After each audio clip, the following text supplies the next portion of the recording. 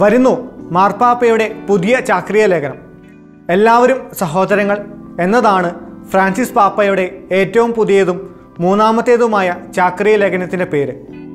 ആധുനിക ലോകത്തിന് ക്രിസ്തുവിന്റെ കരുണയുടെയും സ്നേഹത്തിന്റെയും മുഖം വ്യക്തമാക്കി കൊടുക്കുന്നതിൽ മുൻപന്തിയിലാണ് ഫ്രാൻസിസ് പാപ്പ. കരുതലോടെ ചേർത്ത് പിടിച്ചും സ്നേഹത്തോടെ ആശ്ലേഷിച്ചും ജനഹൃദയങ്ങളിൽ ഇടം പിടിച്ച ഈ വലിയ ഇടയൻ സാഹോദര്യത്തിന്റെ പുതിയൊരു മാനം ലോകത്തിന് സമ്മാനിക്കുകയാണ് തന്റെ പുതിയ ചാക്രിയ ലേഖനത്തിലൂടെ. വിശുദ്ധ ഫ്രാൻസിസ് അസീസിയുടെ പ്രബോധനങ്ങളിൽ നിന്ന് പ്രചോദനം ഉൾക്കൊണ്ട് ഓൾ ബ്രദേഴ്സ് എന്ന് നാമകരണം ചെയ്തിരിക്കുന്ന ചാക്രിയ ലേഖനം ഒക്ടോബർ മൂന്നിനാണ് പുറത്തിറങ്ങുന്നത്. ഇതിനോടനുബന്ധിച്ച് അസീസിയിലെ വിശുദ്ധ ഫ്രാൻസിസിന്റെ കബറിടത്തിങ്കൽ ഫ്രാൻസിസ് പാപ്പ വിശുദ്ധ ബലി അർപ്പിക്കും.